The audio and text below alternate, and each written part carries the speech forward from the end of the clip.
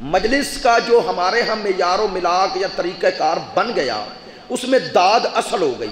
تو اب لوگ داد دینا ہی اپنی فضیلت سمجھتے ہیں۔ اور یہ بھی نہیں پتا داد کس بات پہ دے رہے ہیں۔ مجھے خوشی ہوتی ہے اگر کوئی سن کر بات کا جواب دے تو، یا غور سے سنے۔ کوئی ضروری نہیں مجلس میں بیٹھ کر مجلس کے ساتھ رہنا ثواب کا ذریعہ ہے، چونکہ سننے کا ثواب ہے۔ ایسے ہے نا۔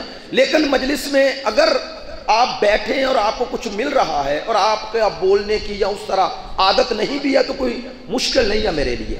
ہاں چونکہ اب جو حالات واقعات جس تناظر میں جا رہے ہیں، آپ نے وہ ویڈیو بھی دیکھی ہے کہ اب تو لوگ توحید، وحدانیت، خدا کے حوالے سے عجیب و غریب باتیں کر رہے ہیں۔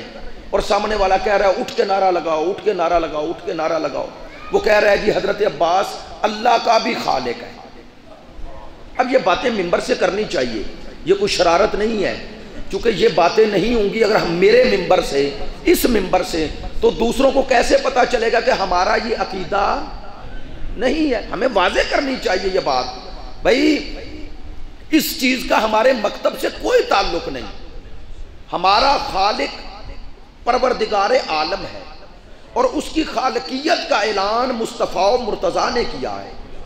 ایسا ہے یا نہیں؟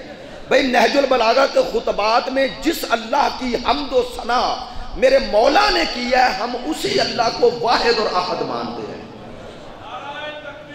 بڑی مہربانی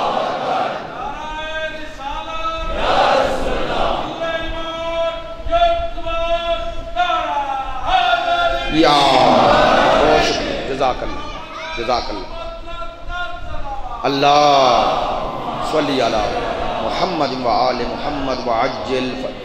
چلیں انشاءاللہ یہ بات ممکن ہے انہی دنوں میں آئے جب میں عقائد شیعہ کی گفتگو کروں تو کچھ باتیں آپ سے انشاءاللہ اپنا درد دل بھی اور آپ کا بھی مشترکہ ہمارا یہ درد جو ہے اسے ممبر سے بیان کریں گے تاکہ دوسروں تک بات واضح ہو جائے اور اپنے نوجوانوں کو بھی اس شر سے، اس فتنے سے، اس گمراہی سے، اس شرک سے، اس کفر سے بچایا جائے۔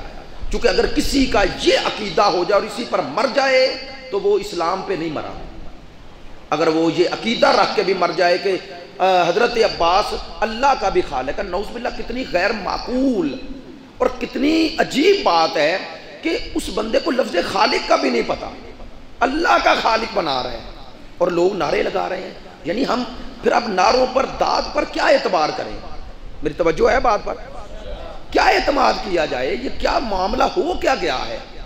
ہم نے بچپن سے سنا کہ بھائی مولا کائنات کے صحابی جاتے ہیں دربار شام میں، مولا کا خط لے کر، تو وہیں دو شخص لڑتے ہوئے آتے ہیں اور وہ کہہ رہا ہے میرا اونٹ ہے، وہ کہتا ہے، میرا اونٹ ہے۔ تو بعد میں کہتے ہیں، یزید کے باپ سے کہ تو فیصلہ کر دے۔ تو وہ کہتا ہے، یہ اونٹ فلاں کا ہے۔ مثال دے رہا ہوں۔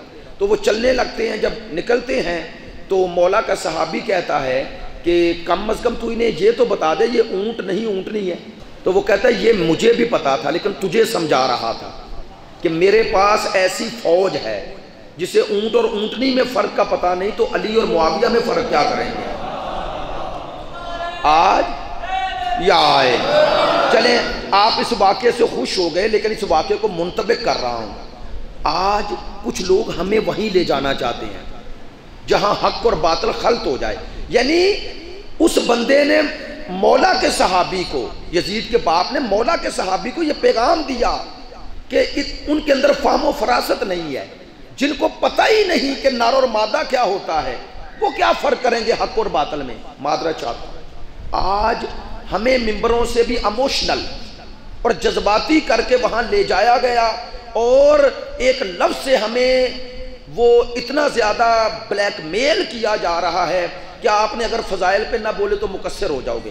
بندہ سمجھتا ہے گمراہ ہونا ٹھیک ہے، مقصر نہ بنا مادرہ چاہتا ہوں میں نے یہ جملہ کہا ہے۔ یعنی اتنا ہمیں اموشنل کر دیا گیا، اتنا ہمیں بلیک میل کیا جا رہا ہے لفظ ولایت سے، لفظ مقصر سے، لفظ غالی سے، کہ ہم سوچنے، سمجھنے کی صلاحیت ختم ہوتی جا رہی ہے۔ چونکہ ہمیں لفظ مقصر، غالی کا حقیقی معنی پتا نہیں، ہمیں ان کی حدود و قیود پتا نہیں۔ ہمیں ترتیب گفتگو میں یہ معلوم نہیں رہا کہ ہم لا الہ الا اللہ پہلے پڑھتے ہیں۔ صرف پڑھتے نہیں، اس پر ایمان شرط ہے، پڑھنا شرط نہیں۔ اللہ کو واحد اور عہد ماننا شیعہ مذہب کی بنیاد ہے۔ چونکہ ہمارے کلمے میں علی ولی اللہ ہے، علی اللہ نہیں۔ ہمارے کلمے کا تیسرا جز علی ولی اللہ ہے، وسیع رسول اللہ ہے۔ میں ہی یہ بات متعدد بار کر چکا ہوں کہ لا الہ الا اللہ میں صرف اللہ کا ذکر ہے۔ محمد رسول اللہ میں پھر اللہ کا ذکر ہے۔ آپ ہر محمد کو نہیں مانتے، اس محمد کو مانتے ہیں جو اللہ کے رسول ہیں۔ تو ماننے کا معیار تو پھر اللہ ہے نا؟ نہیں توجہ فرمائی۔ بھائی نسبت سے مان رہے ہو نا کہ وہ محمد جو اللہ کے رسول ہیں، تو پھر اللہ کا ذکر آ گیا۔ تیسرا جز کلمہ پڑھیں۔ علی وسیع رسول اللہ و خلیفہ تو بلا فضل۔ اگر متوجہ ہیں تو توجہ فرمائیں۔ پہلے صرف اللہ کا ذکر، چونکہ وہ واحد ہے، وہ احد ہے۔ پھر محمد رسول اللہ، کہ بعد از خدا بزرگ توئی قصہ مختصر۔ یہ معنی ہے، پھر ہے علی ولی اللہ۔ توجہ نہیں ہے۔ علی ولی اللہ ہے یعنی علی کس کے ولی ہیں؟ اللہ کے۔ اور یاد رکھیں، ایک ہوتی ہے نسبت۔ ایک ہوتی ہے جس کو نسبت دے رہے ہو اور تیسرا ہوتا ہے جس کی طرف نسبت دے رہے ہو۔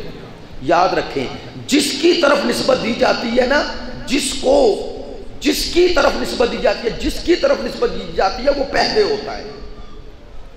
نہیں، بات آسان ہوگی مجھ سے آپ نے پوچھا، آپ کس کے شاگرد ہیں؟ میں نے کہا فلاں کا۔ تو جن کا نام لے رہا ہوں، وہ رتبے میں، علم میں مجھ سے پہلے ہیں یا نہیں؟ پہلے ہوں گے نا۔ تو آپ نسبت کیا دیتے ہیں؟ علی کس کے ولی ہیں؟ اللہ کے۔ یعنی مولا کی فضیلت بیان کر رہے ہو نا، اقرار کر رہے ہو نا، ہم اس علی کو مانتے ہیں جو کس کا ولی ہے؟ تو اللہ کی طرف علی کی نسبت دے رہے ہو۔ یعنی بتا رہے ہو، جس اللہ کی طرف علی کی نسبت ہے، اس اللہ پر پہلے ایمان ضروری ہے۔ توجہ نہیں ہے؟ وسیع رسول اللہ۔ علی ولی اللہ کے بعد فوراً کہا، جو رسول کے وسیع ہیں۔ اچھا بھائی رسول کا وسیع تو سب مان سکتے ہیں۔ نہیں، توجہ۔ کوئی کہے کہ میں چوتھے نمبر پر مان رہا ہوں، لیکن مان رسول کا وسیع رہا ہوں۔ وسیع کا معنی بعد میں آنے والا، کسی کی جگہ پر بیٹھنے والا۔ اگر وہ کہہ دے جی چوتھے نمبر پر بھی تو رسول کا وسیع ہے نا، اب فوراً آپ نے کہا خلیفہ تو ہو بلا فصل بغیر فاصلے کے مانتے ہیں۔ لو مجھ سے کسی نے پوچھا تھا مقصر اور غالی میں فرق کیا ہے؟ میں نے کہا یہ تینوں جزے، کلمہ، غالی، مقصر نسیری اور وہابی سب کو جدا کر دیتے ہیں۔ علی ولی اللہ نسیریت کی نفی ہے۔ وسیع و رسول اللہ ہے وہ خلیفت ہو بلا فصل یہ مقصر کی نفی ہے۔ جو فاصلے کے ساتھ مانے وہ مقصر ہے، جو بلا فصل علی کو مانے وہ شیعہ ہے۔ توجہ ہے۔ ہمارا تو یہ عقیدہ ہے۔ ہم اسی عقیدے پہ قائم ہیں۔ خدا، مصطفیٰ، پھر مرتضی۔ نہیں توجہ، یہ بات ضرور مانتے ہیں۔ خدا کو واحد اور احد مانتے ہیں۔ توجہ بھائی، سرکار دو عالم کو اللہ کے بعد سب سے افضل مانتے ہیں۔ کیوں مانتے ہیں؟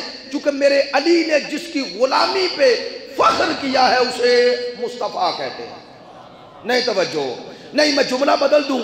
تمام اولیاء علی کے در پہ جھکتے ہیں اور غلامی علی پہ فخر کرتے ہیں۔ علی جس کی غلامی پہ فخر کرے، اسے مصطفیٰ کہتے ہیں۔